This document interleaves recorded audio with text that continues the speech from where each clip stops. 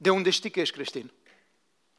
Și tocmai de aceea trecem prin cartea aceasta Efeseni uh, ca să vedem cum așteaptă Dumnezeu să fim creștini.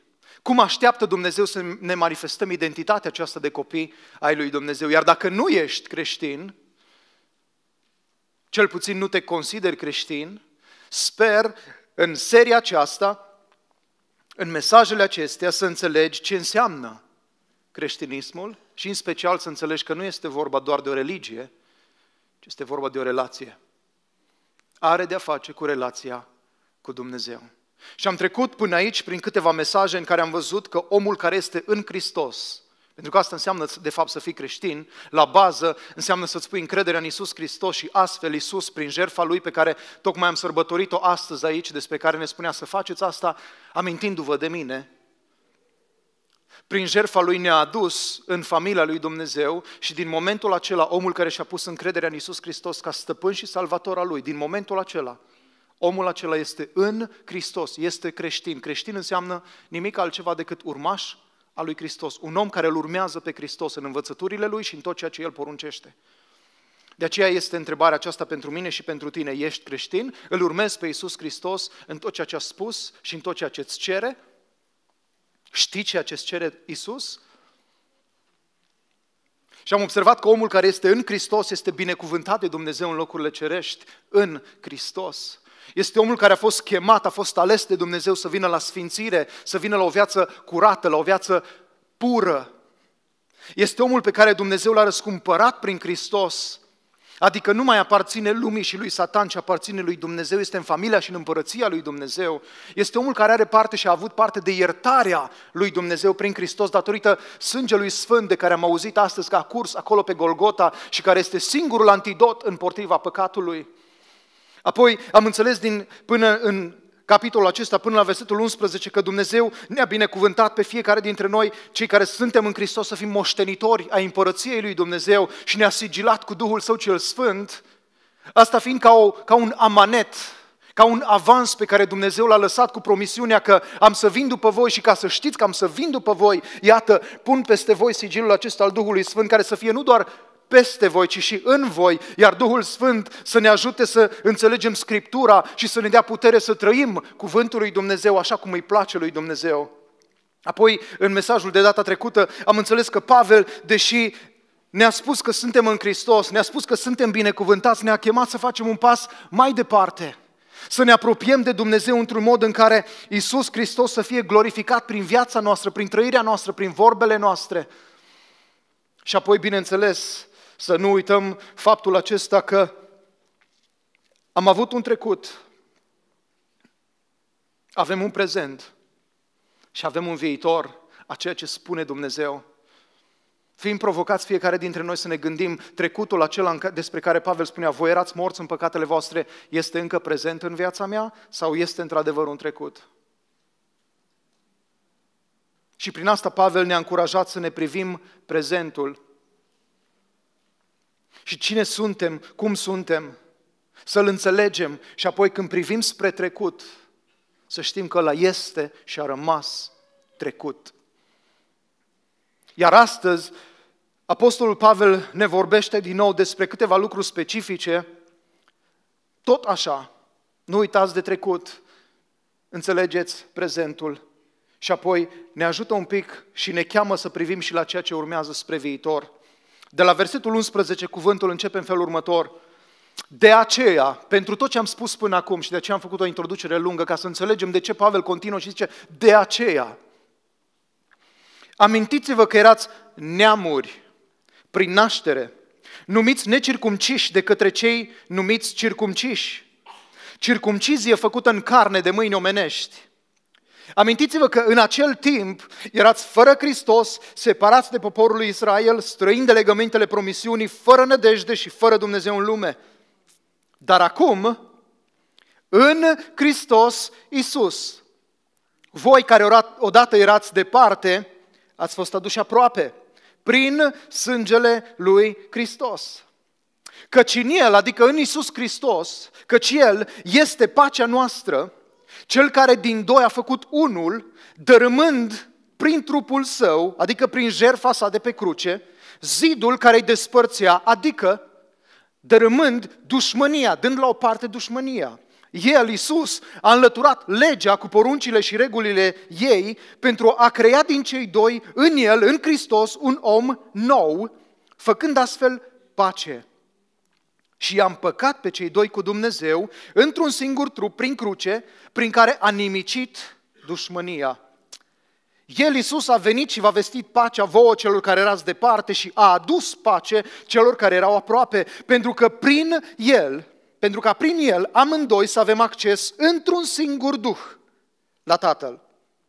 Așadar, acum nu mai sunteți străini sau alt neam, ci sunteți cetățeni împreună cu sfinții și membri ai casei lui Dumnezeu, fiind zidiți pe temelia pusă de apostoli de, și, prof, și de profeți, piatra din capul unghiului fiind Hristos.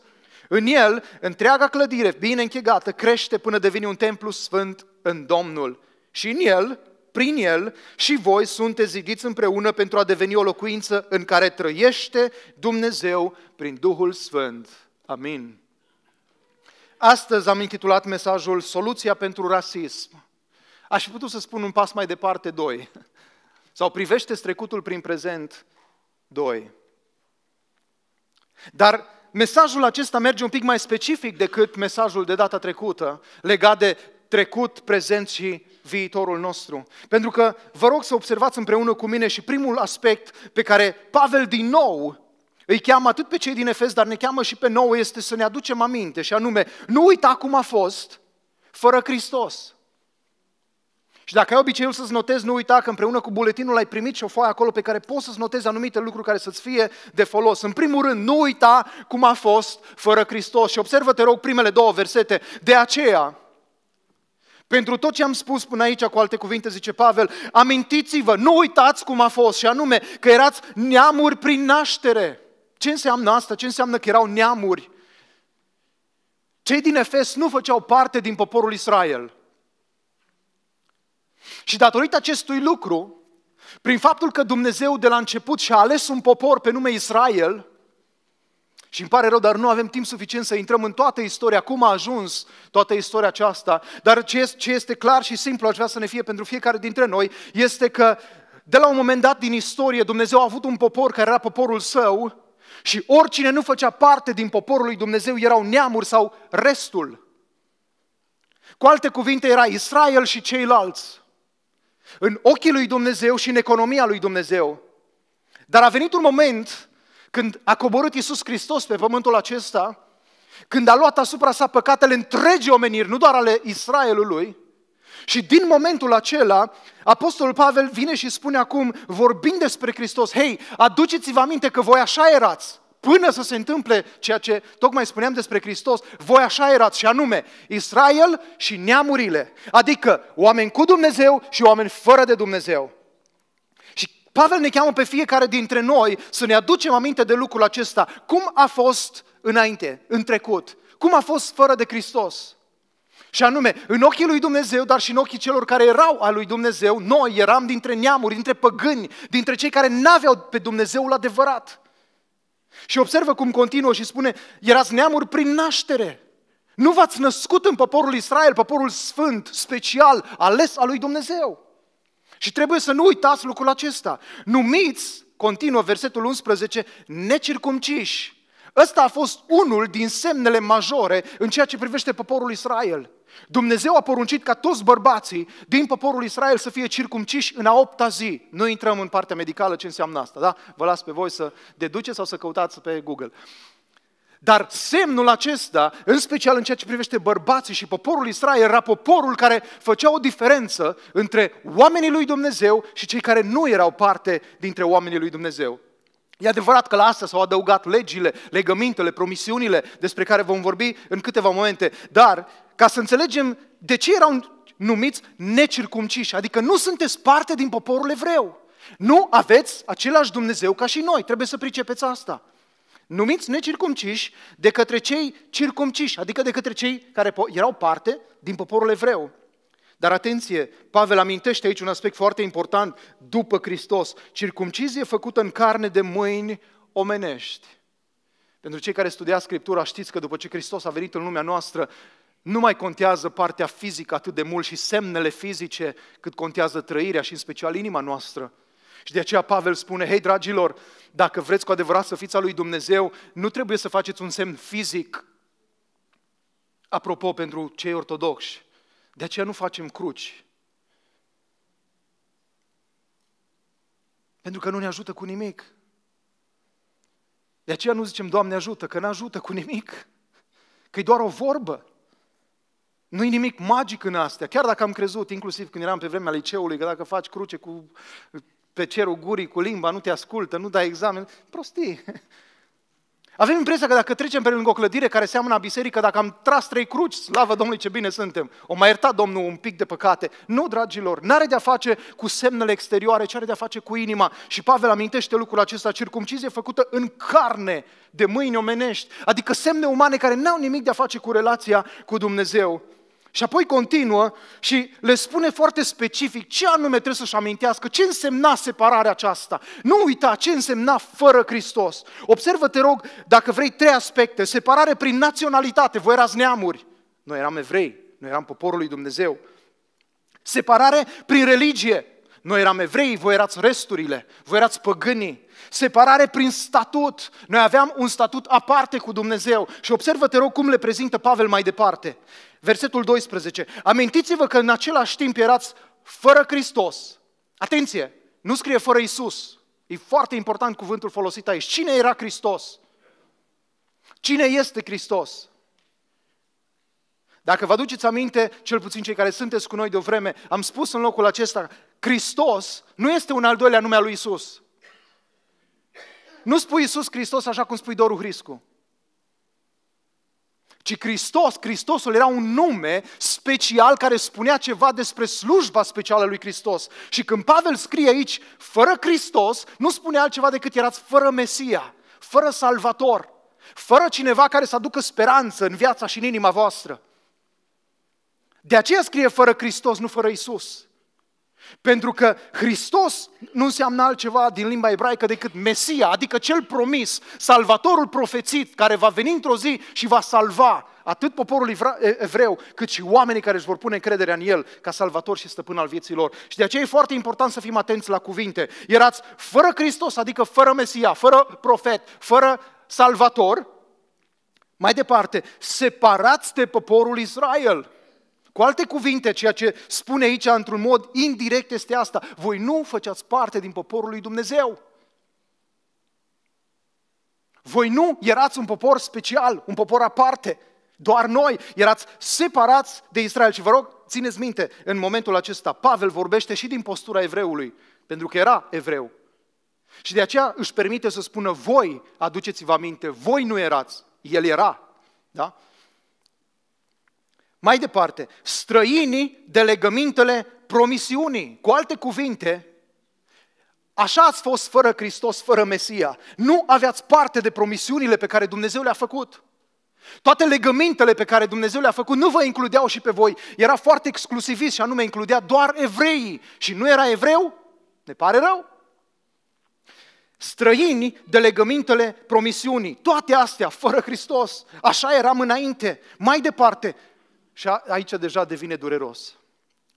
Fără nădejde sau fără speranță. De ce? Pentru că poporul Israel avea speranța că ei într-o zi vor fi conduși de Dumnezeu. Dumnezeu le va ridica un împărat ca David care să domnească și să restaureze împărăția lui Dumnezeu. Aveau speranța aceasta pe când neamurile nu aveau, pentru că nu-L aveau pe Hristos, nu-L aveau pe Mesia și nu aveau promisiunile, nu aveau nici o speranță. Și Pavel vine și le aduce aminte, dragilor, fără Hristos, așa erați înainte, fără speranță. Și ca să pună și cireașa pe tort, zice, și fără Dumnezeu în lume. Cu alte cuvinte, păgâni, atei, disperați. Soluția pentru rasism, dragul meu, și intrăm imediat să discutăm un pic mai practic despre asta, este să nu uiți cum era. Sau dacă vrei, pune la modul personal, nu uita cum erai fără Hristos. Separare națională, legat de naționalitate, separare în ceea ce privește religia și separare prin statut, fără speranță și fără de Dumnezeu. Nu știu câți dintre noi avem care au fost sau poate care încă mai sunt și lucrați prin străinătățuri. Aveți curaj? Hai că nu vă cerem zecioala, doar ridicați mâna. Vrem să vedem, ca să vedem cui ne adresăm. Ok, bun. Puțini, ceilalți nu vor să recunoască. E ok. Trăim în Târgu Mureș. Și asta uneori ne ia tot timpul. Uh, un oraș jumătate maghiar, jumătate român.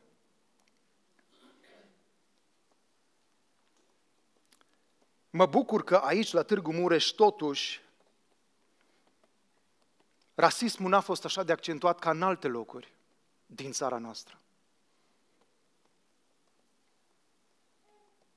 Și pentru că sunt puțini care au îndrăznit să ridice mâna, deși pe ei am să-i provoc să se gândească cum v-ați simțit acolo unde v-ați dus? Când oamenii au aflat că sunteți români. Cum v-ați simțit prin locurile de muncă pe care vi le-au oferit? Unele cazuri s-ar putea să fie fericite. Dar eu mi-aduc aminte când cu șoc am privit în cartea asta numită Enciclopedie Mondială. Nu mai știu exact cu câți ani, 10, 15 ani în urmă. Și la România era o poză cu romi, cu țigani. Pentru că în mentalitatea celor ce au aprobat Enciclopedia Mondială, românii asta erau, așa erau cunoscuți. De aceea sporecliți Coca-Cola. Știți de ce, nu? că peste tot. Nu există loc în lumea asta unde să nu te duci și să nu fie români. Am gustat puțin din ce înseamnă rasismul acesta. L-am trăit, pe de altă parte, vă spuneam cu alte ocazii că am avut trei vecini maghiari, ușă în ușă, în blocul în care am crescut. Și deși relația noastră a fost bună, Uh, n-am știut, dar mai târziu am aflat că eu spunându-i doamnei, vecinei de vis-a-vis, momico, îi spuneam mamă de fapt. Și nu o deranja. Pe mine nici atât că nu știam ce înseamnă. Sperăm că nu sună momico. Uh, dar undeva în inima mea, în mintea mea, fără să-mi dau seama, exista o problemă. O problemă de rasism.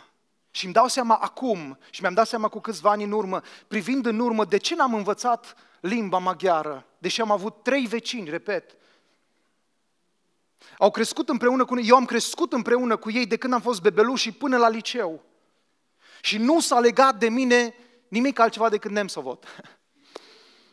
și Igen. A, și Ghereide, că știam când striga ea, ieșea pe balcon și striga copiii și scria Timothy Ghereide! Și îl vedeam cum fuge și bănuiam că înseamnă fugi acasă. După aia am înțeles că de fapt vin încoace. și n-am înțeles de ce. Dar mai apoi, crescând și văzând în viața noastră, în inimile noastre, în țara în care trăim, că există un rasism de multe ori nespus. O, tu ești ungur, mm, tu ești țigan, o, tu ești român, în Transilvania mea. E adevărat că nu privim cu aceiași ochi spre Europa, spre America, că acolo ne vrem și noi să ajungem. Dar dacă te uiți spre țările astea alte mai puțin dezvoltate, cum ne raportăm la oamenii ăștia? Asta era, dragilor, înainte de a-L cunoaște pe Hristos, pentru că e foarte importantă această delimitare. Deși vă spun cu durere, mergând din biserici în biserici, în anii trecuți, participând la tot felul de evenimente, la predici, ajungând în tot felul de situații și de biserici, mi-am dat seama și am văzut încă o dată că există un oarecare rasism. Îmi doresc din toată inima și sper că înțelegeți lucrul acesta, că în Biserica Harvest Târgu Mureș așa ceva trebuie să piară, să dispară rasismul ăsta între naționalități, între culori de piele, între social, între pozițiile sociale, pentru că astea nu sunt în Hristos și o să, o să, o să, o să observăm imediat când ajungem să discutăm despre cum este în prezent. Dar nu putem discuta de ce e în prezent până nu înțelegem care a fost trecutul și cum, atât în ochii lui Dumnezeu, dar în special în ochii celor ce aparțineau de poporul lui Dumnezeu, eram noi priviți. Și știți ce e dureros? Că de multe ori noi nu învățăm din asta. Când alții ne privesc urât pe noi pentru că nu avem poziție socială, că nu avem educație, că nu suntem din nu știu ce familie, că nu suntem din nu știu ce oraș. Apropo și de asta, a rămas șocată și mi-a spus nevastă mea, când ne-am dus să ne facem buletinele și am cerut buletinele, am spus de unde venim și unde vrem să ne mutăm și că vrem să ne facem cetățeni aici, s-a uitat la noi și a zis, Doamne ferește, dar ce ați pățit? Cum să te muți din Timișoara, să lași Timișoara să te muți la Târgu Mureș? Doamne ferește! Observați chestii de rasism din astea de care de multe ori nici măcar nu suntem conștienți. Te rog să te gândești, când ai stat ultima dată de vorbă cu un țigan? Știu că așa îi spui, n-are rost să ne ascunde că e rom. Îi spui pe nume țigan, doar că îi spui în mintea ta, ca să nu te judece alții. Dar când ai stat de vorbă ultima dată cu el și în public? Astăzi, Dumnezeu să vă binecuvinteze. Ce faci când te abordează unul de genul ăsta?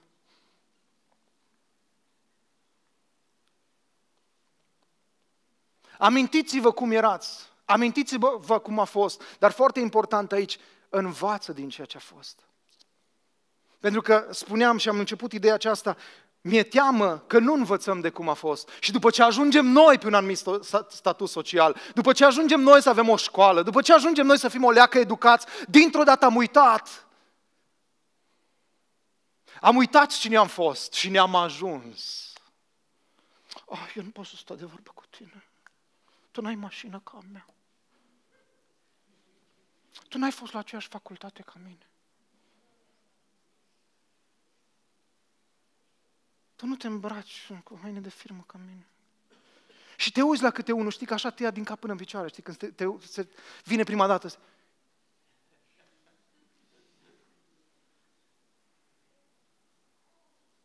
Nu vă supărați, sunteți croitor? De ce mă măsurați? Știți, folosim de multe ori, prima impresie contează și vrem să facem impresie bună de prima dată. Ca să mai apucăm și a doua oară. Știți de ce? De teama rasismului, pe care îl purtăm cu noi și de care suntem înconjurați. Dar asta ne spune Pavel, ne aduce aminte că așa era. Din nou aș vrea să te întreb, așa doar era? Sau pentru tine încă așa este? Gândește-te bine la lucrul acesta. A fost o problemă al trecutului tău sau încă te mai macină?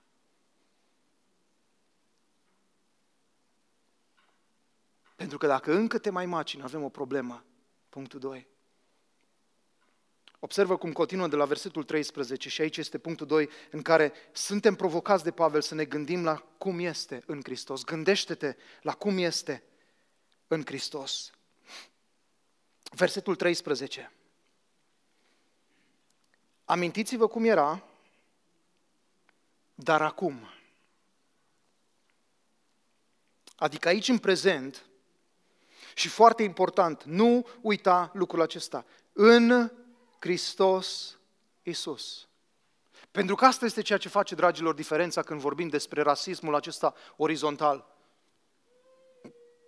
în Hristos Isus. Voi, vedeți încă o dată, Pavel vorbește din poziția de evrei, de evreu, celor dintre neamuri, voi, care odată erați departe, prin simplu fapt de pe cele care le-am amintit, da? prin naționalitate, neamuri din naștere, separare prin religie, evrei și restul, separare prin statut. Noi eram poporul lui Dumnezeu, voi nu. Voi ăștia care erați departe, fără speranță, fără Dumnezeu, în Hristos Iisus, Ați fost aduși aproape prin sângele lui Hristos. Observați, vă rog, foarte important, că nu prin fapte bune, nu prin circumcizie, nu prin zâmbet frumos, nu prin ochi albaștri, nu prin culoarea părului, ci în Hristos și prin sângele lui Hristos. Nu prin ceea ce tu sau eu am făcut, ci prin ceea ce El, Iisus Hristos, a făcut. Voi, care odată erați departe, ați fost aduși aproape prin sângele lui Hristos. Versetul 14, de ce prin sângele lui Hristos? De ce în Hristos? Pentru că El, Iisus, este pacea noastră. El este cel care a dus, care a făcut pace, cel care din doi a făcut unul, dărâmând prin trupul său zidul care îi despărțea, adică dușmânia. Pentru cei care studia Scriptura și în special și puțin de istorie și cultură legat de evrei și de neamuri în perioada aceea, se știe foarte clar că în ceea ce privește templul, de aceea vorbește despre dărâmare, despre zid, nu aveau voie oricine să intre în templu. Existau trei curți. Exista curtea principală sau locul principal de închinare unde mergeau evrei autentici, ăia pur sânge, ăia circumciși. Apoi exista o a doua curte în care aveau acces femeile evreice și o a treia curte în care aveau acces unii dintre neamuri care s-au convertit la iudaism, care s-au circumcis în trupul lor și au avut o, o baie ritualică prin care au aderat la legile și poruncile evreilor. Și în afară de astea trei categorii, nimeni altcineva nu avea dreptul să intre în templu. Și foarte important s-a descoperit, uh, într-un, uh, într-o excursie din această arheologică, s-a descoperit o, o bucată din templu pe care scria în felul următor. Atenție! Oricine nu este evreu și trece de zidul acesta, va plăti cu viața. Și observă încă o dată, în contextul acesta, versetul 14, că El, Iisus, este pacea noastră care din doi a făcut unul dărâmând prin trupul său. Cum? Vă aduceți aminte cei care citiți Scriptura că în Evanghelie ni se spune că în momentul în care Iisus Hristos a strigat, s-a sfârșit, s-a întâmplat ceva în templu. S-au rupt gardurile. Perdeau aceea care separa în primul rând pe om de Dumnezeu și avea nevoie de preoți ca să poată să ajungă la Dumnezeu. Perdeau aceea s-a rupt de sus până jos, într-un mod simbolic arătându-ne celor care suntem în Hristos că astăzi, acum și aici, nu mai ai nevoie de pastor ca să ajungi la Dumnezeu, n-ai nevoie de preoți, n-ai nevoie de sfinți și de sfinte, n-ai nevoie nici măcar de Maica Fecioară, Maria. Pentru că există un singur nume și un singur mijlocitor între noi și Dumnezeu, omul Iisus Hristos, care acolo pe lemn a dărâmat zidul acesta făcând din doi, cu alte cuvinte, din separare, făcând această unitate. Iar zidul acesta ne spune cuvântul prin Apostolul Pavel că nu era altceva decât dușmănie, ură. În una din rugăciunile pe care evreii trebuiau să le spună în fiecare dimineață, spunea, Doamne, îți mulțumesc că nu sunt trei lucruri. Păgân, adică dintre neamuri, femeie și câine. Atâta era de mare dușmânia. Și Pavel ne spune că prin Hristos, în Hristos, care este pacea noastră, zidul acesta a căzut. Versetul 15, El a înlăturat legea cu poruncile și regulile ei. Care? Că și aici e o dezbatere mare. Toate? Câteva? Legea și poruncile și regulile ei care trebuiau să le țină evreii. Și dacă veți citi cartea uh, Levitic, veți găsi o grămadă de legi pe care evreii trebuiau să le țină și pe care noi le călcăm astăzi, acum și aici, și anume, nu trebuia să amesteci lâna cu altă țesătură. Era lege pentru evrei. Și multe, multe alte legi, atenție, ceremoniale prin care evreii se puteau apropia de Dumnezeu și le se spunea, dacă vrei să te apropii de Dumnezeu, trebuie să faci, să faci, să faci, să faci, să faci, să faci, să faci. Și dacă o calci pe una, o iei de la zero, că le-ai încălcat pe toate. Și din nou, și din nou, și din nou, și din nou. Și a venit Isus și a spus, astea trebuie date la o parte, pentru că vine legea lui Hristos. Și legea lui Hristos spune Isus cu cuvintele lui că este una mare și lată împărțită în două. Să-L iubești pe Domnul Dumnezeul tău cu toată ființa ta. Minte, trup, inimă, sentiment, suflet, cuget, tot. Și pe ăla ce stă la stânga, la dreapta, în fața sau în spatele tău, ca pe tine însuți. Ca să înțelegi cine e aproapele tău. Să iubești ca pe, ca pe tine însuți. În asta, spune Isus, se cuprinde toată legea și profeții. Și dacă te uiți la cele 10 porunci, Îți este suficient să te gândești la aceste două aspecte, să-L iubesc pe Dumnezeu și să-L iubesc pe aproapele. Și când mă gândesc la asta, Cele 10 porunci se includ în această dragoste, pentru că dacă te iubesc, n-am să te fur. Dacă te iubesc, nu te mint. Dacă te iubesc, nu te înșel. Dacă te iubesc, nu-mi doresc ceea ce ai tu și să pun mâna într-un mod nevrednic pe ceea ce ai tu. Observați? Dragostea unde duce? De aceea Iisus spune că dragostea este cuprinsă, legea este cuprinsă în aceste două aspecte ale dragostei, să-L iubești pe Dumnezeu cu toată ființa ta, cu tot ce ești și pe aproapele tău ca pe tine însuți. El a înlăturat legile cu poruncile. Cu alte cuvinte, nu mai trebuie să facem tot felul de ritualuri să ne apropiem de Dumnezeu, ca Dumnezeu să ne primească, Dumnezeu să ne iubească.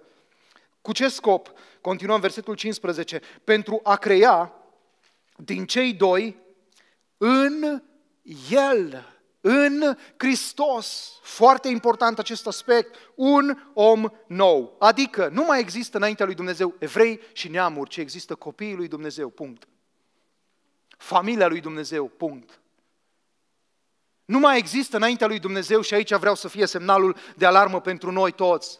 Nu mai există înaintea lui Dumnezeu ungur pocăit, român pocăit, țigan pocăit, neamț pocăit, ci există doar copiii lui Dumnezeu, indiferent de naționalitate, indiferent de poziție socială, indiferent de cultură, indiferent de culoarea pielii. Există doar fii și fiice ale lui Dumnezeu. Întrebarea este asta și pentru tine o realitate? Pentru că asta a venit Isus să facă această pace și pe noi, noi ăștia toți care suntem, nu știu cât sunteți evrei, mai puțin nevastă mea care are ceva corcit pe acolo, încă mai avem probleme de asta de separare din când în când, dar dărâmăm noi și drumul, peretele ăsta. nu știu care dintre voi sunteți evrei, dar știu că suntem pe aici români, maghiari și de alte naționalități. Cum te raportezi la cei din jur? Pentru că Isus a venit să ne aducă pe noi, cei care eram departe, să ne aducă aproape. Iar pe cei ce erau aproape, adică cei ce erau evrei, le-a vestit această pace, să nu mai există dușmănie, să nu mai există război, să nu mai există, a, voi sunteți neamurile, voi sunteți păgânii. Nu, suntem frați în Hristos pentru că suntem în Hristos. Repet, condiția este să fim în Hristos. Dacă nu ești în Hristos, nu te amăgi singur, crezând că și tu ai parte de tot ce s-a spus aici.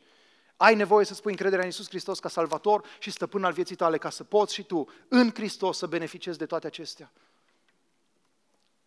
Dar cum le vezi tu până aici? Cum sunt pentru tine locurile astea? Observă cum spune mai departe. Versetul 16. Și i-a împăcat pe cei doi cu Dumnezeu într-un singur trup. Care? Aici e tricky. Pot să fie două, de fapt. Trupul acesta despre care face referire aici este clar că e trupul lui Hristos, dar nu se oprește acolo, ci, se ope- oh, ci merge mai departe și la trupul simbolic, pentru că o să vedeți data viitoare, vom discuta exact de aspectul ăsta, și anume biserica.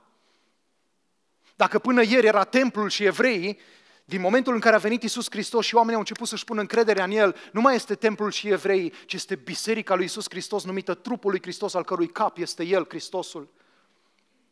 Și Isus n-a făcut altceva decât să aducă pe ăștia toți, să-i împace cu Dumnezeu într-un singur trup, prin cruce, prin care a nimicit dușmânia. Observați, din nou apare dușmânia. Pentru că asta era problema. Nu era situația doar, bă, voi sunteți nesfinți, noi suntem sfinți. Voi sunteți păgâni pângăriți, noi suntem ăștia curați pentru Dumnezeu. Ci era pur și simplu acea aroganță. Acea aroganță spirituală în care noi suntem poporul lui Dumnezeu, mă, nenorociților, mă, să nu vă apropiați de noi. Să nu cumva să intrați în templul nostru, că ne-l pângăriți, mă. Și asta crea dușmănie, să nu cumva să te apropii de mine, să nu cumva să mă spurci. Pe când în Hristos a dat la o parte această dușmănie. Versetul 17, El a venit și v-a vestit pacea vouă celor ce erați departe și a adus pace celor ce erau aproape, pentru ca prin El, observă din nou scopul, de ce a făcut Isus toate acestea? Pentru ca prin El, prin Hristos, amândoi să avem acces, unde? Într-un singur Duh, la Tatăl. Să nu mai fie evreii cu Mesia lor și cu Dumnezeul lor și noi ceilalți cu Dumnezeul nostru și cu Mesia nostru, ci în Hristos să existe un singur Mesia, un singur Duh, un singur Tată, o singură familie, o singură împărăție, o singură biserică. Dacă vrei, o singură naționalitate, copii ai lui Dumnezeu. De aceea Pavel la un moment dat, cred că în Galaten, merge mai departe încât spune că în Hristos nu este nici măcar bărbat și femeie. Dar nu cu sensul ăsta că, Iisus nu, că Dumnezeu nu știe să facă distinție între noi, da? Ci cu ideea aceasta că nu e unul mai bun decât altul. În special între evrei s-a, s-a dus această idee și filozofie că bărbatul e mai special. De aceea chiar și în unele familii avem ideea asta că bărbatul e șeful. El e la care dă cu pumnul masă. Și în casa mea eu fac ce vreau. Și nevastă să-l roagă, ieși, te rog de sub masă. Eu stau unde vreau la mine în casă.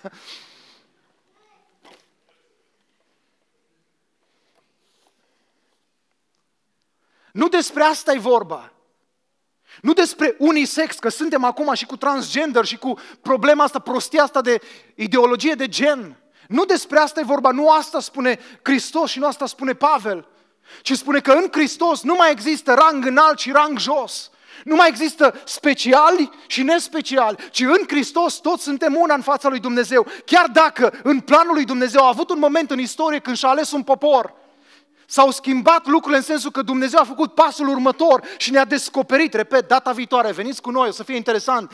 Dumnezeu a descoperit pasul următor și anume, de la un popor, El vrea o națiune.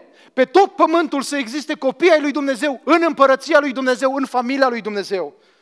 Și să nu ne mai uităm unul altul să spună, a, tu ce pașaport ai? Ia să-ți văd buletinul. Unde te-ai născut? Care sunt părinții tăi?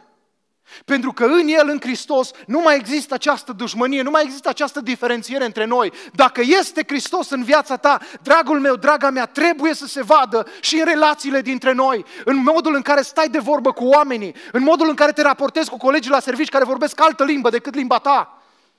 Trebuie să se vadă în inima ta cum te raportezi la oamenii ăștia, care poate te tratează cu dispreț, dar cum îi tratezi tu? Ochi pentru ochi? Dinte pentru dinte?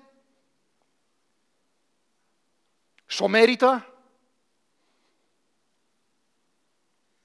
Și asta, bineînțeles, poate fi lărgită, pentru că am auzit de nenumărate ori întrebarea, frate pastor, nu te supăra, dar e biblic ca un român să se căsătorească cu un neamț? Pe bune. Atât e IQ. Asta e întrebarea inteligentă.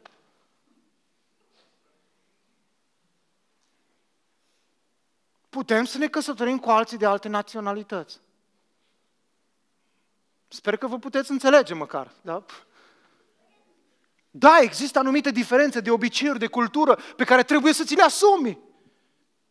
Nu te căsători cu gândul că îl fac eu român. O învăț eu să fie româncă. În Hristos toate astea, dragilor, dispar. Și ăsta este un semn care ar trebui să ne spună în inima noastră dacă avem un creștinism autentic.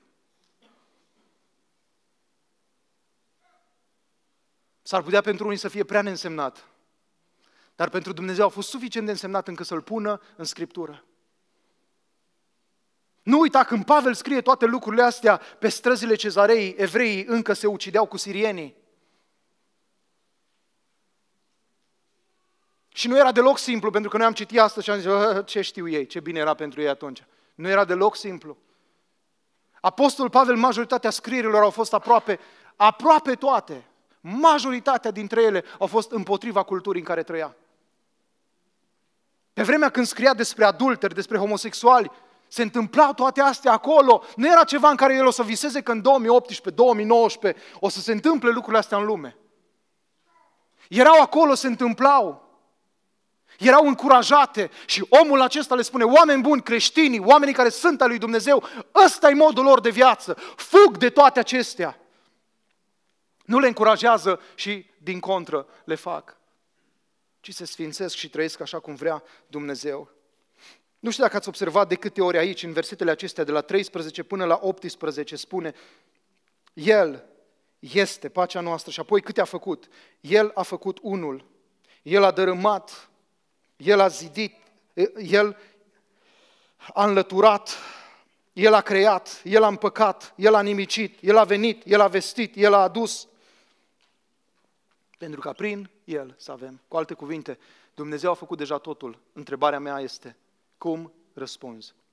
Și cum răspund? Apoi, în al treilea rând, de la versetul 19, un al treilea punct pe care îl observăm aici este, dacă să nu uiți cum a fost în trecut, Dacă ești chemat și sunt chemat să mă gândesc la prezentul acesta și dacă este o realitate în viața mea, un test al creștinismului meu, sunt chemat să-mi asum, începând de astăzi, ceva. Observă de la versetul 19. Așadar, cu alte cuvinte, dacă vreți, în concluzie, acum nu mai sunteți străini sau de alt neam. Nu știu dacă ai probleme din asta, că poate nu vorbești bine românește și încă te simți, hmm, oare mă acceptă ăștia, nu mă acceptă, oare e bine, oare nu e bine? Înțelege versetul acesta, dacă ești în Hristos, și asta este condiția, acum nu mai ești străin sau de alt neam. Vă iubim și pe voi ăștia din Olanda care ați venit. Chiar dacă mai pociți limba noastră românească, care e mult și dulce și frumoasă și altă limbă ca aia nu găsim, Doamne, cine o fi inventat povești Cât chin să înveți așa poezie în clasele primare. Înțelege că dacă ești în Hristos împreună cu mine, împreună cu noi, nu mai sunteți străini sau de alt neam, indiferent din ce oraș ai venit, indiferent din ce țară te-ai mutat, indiferent ce naționalitate ai, indiferent care este limba ta.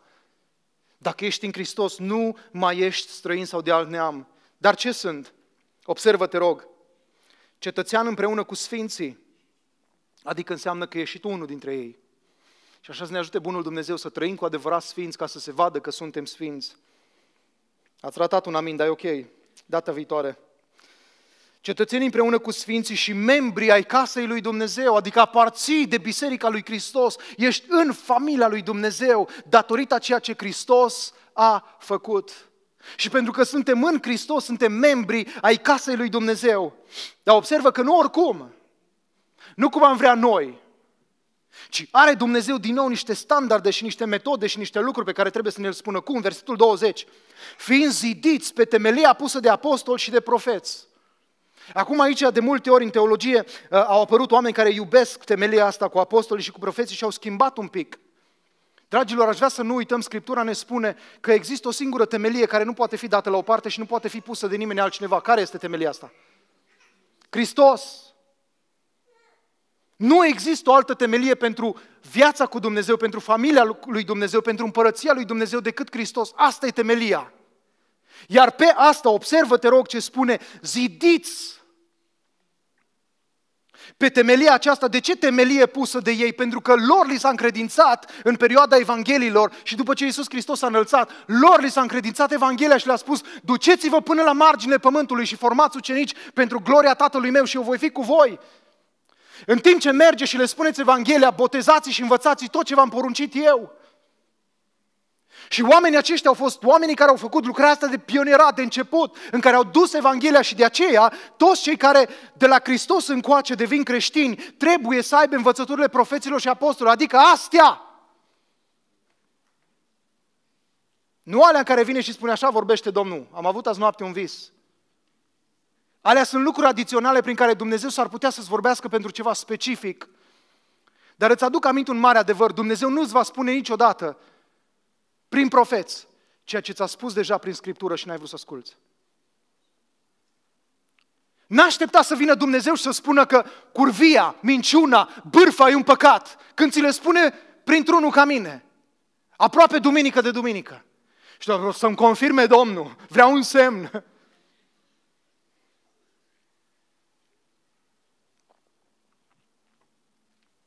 Piatra din capul unghiului fiind Hristos, Isus. Adică Ceea ce ține toată temelia și tot ceea ce va fi pe clădit este Hristos.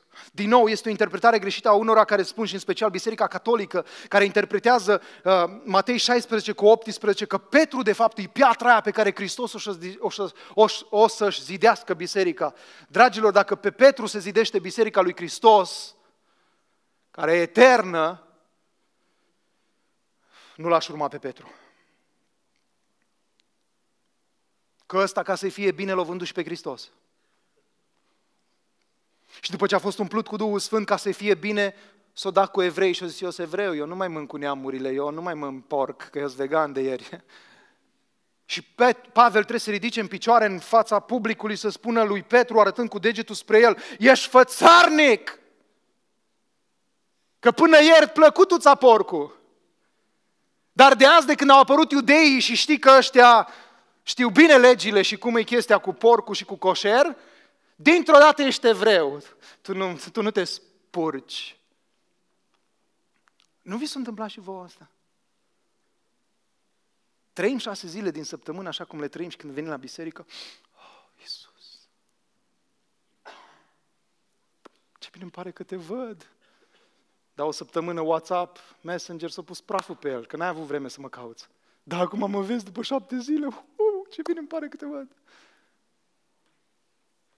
Observați cum le facem, cum le trăim. Da, eu sunt bine cu Domnul. Care Domn? Piatra din capul, capul unghiului nu este alta decât Hristos și anume stânca aceasta de nezdruncinat de viacuri și de peste viacuri, fiind Hristos. De aceea Hristos și-a putut, a putut să spună că porțile locuinței morților nu va birui biserica sa. De ce? Pentru că El este stânca de viacuri, de nezdruncinat de nimeni și nimic. Și biserica Lui va dăinui până la sfârșit. Și apoi vorbește din nou despre noi în El, versetul 21. În El, în Hristos, întreaga clădire. Care clădire? Asta? Eu și tu, care nu suntem altceva decât cărămizi vii în ceea ce Dumnezeu vrea să construiască. În El, în Hristos, întreaga clădire bine închegată crește. Asta pentru ei care le plac bisericile mici și de lemn. Crește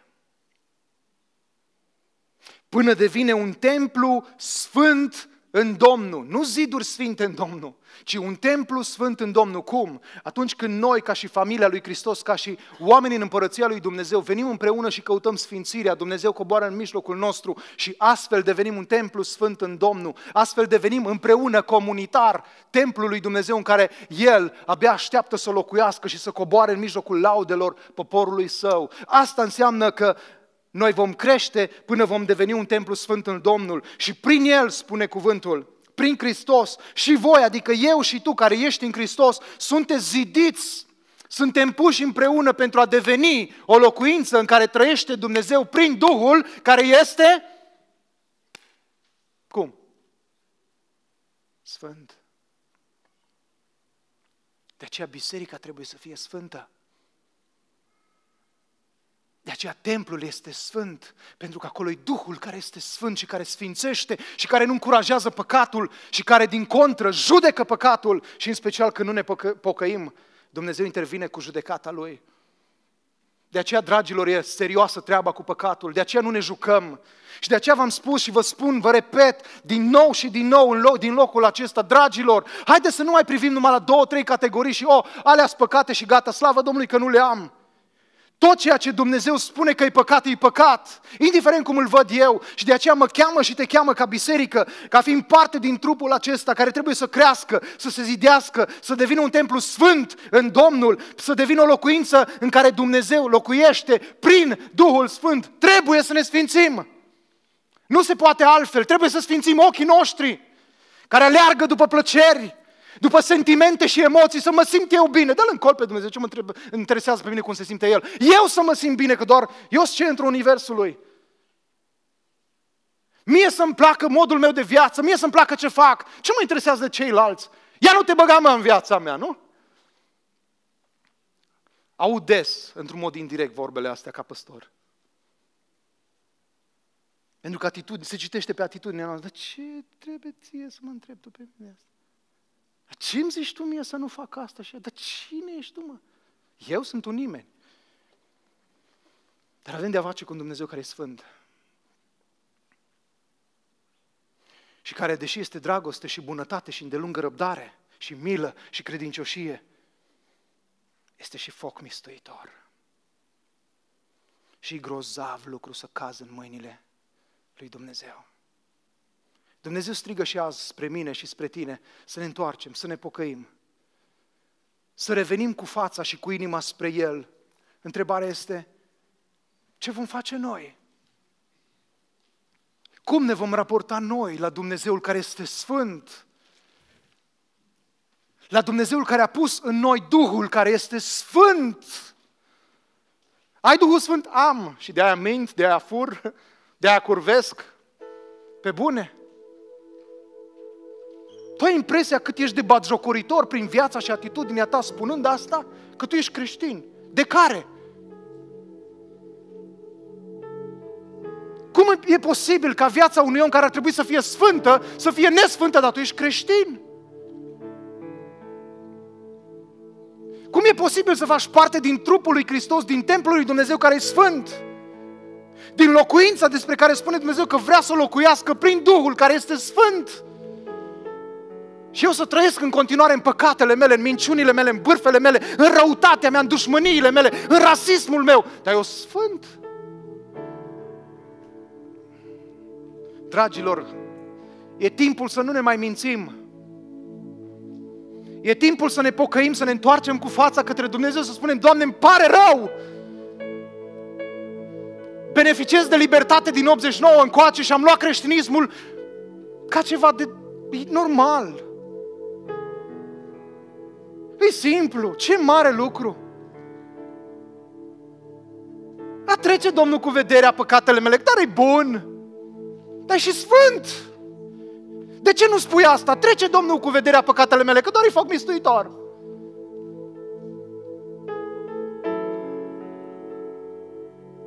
Știe Domnul că slab, de-aia a pus Duhul care e sfânt în tine să-ți dea putere să te sfințești. De aia spune și îmi spune că despărțit de El nu pot face nimic. De aia te cheamă să crești, să nu mai fii bebelus spiritual, să țină alții sticla. Nu, no, uite un verset frumos pentru tine. Mestecă-l o săptămână. Pune mâna pe Scriptură, că aici îl cunoaștem pe Dumnezeu. Hristos spunea, cercetați Scripturile, pentru că în ele socotiți că aveți viață veșnică și îl cunoașteți pe Dumnezeu și pe Fiul Său. Mai faceți comparații între lume și noi. Dacă poți să-ți iei examenele la facultate sau la liceu sau la școală, poți să treci fără să participi măcar la ore. Cu Dumnezeu nu merge! Trezește-te, nu te mai juca! Și prefer să mă urăști pe mine că strig în urechile tale, dar atunci când îți mai vine să păcătuiești, prefer să auzi urletul meu care strigă Întoarce-te cu fața către Dumnezeu și nu-ți mai bate joc nici de El și nici de viața ta. Până când? Până când? Până când te tot scuzi că te cunoaște Domnul, că tu n-ai vreme de Scriptură, dai vreme de orice altceva. Mesul și Facebook-ul nu încetează, la n-are limite. Dar cu Domnul te plictisești. La rugăciunea dormi. Dar tu ești al Domnului. O, dragilor, de-am înțelege cât de serioasă e treaba cu Hristos.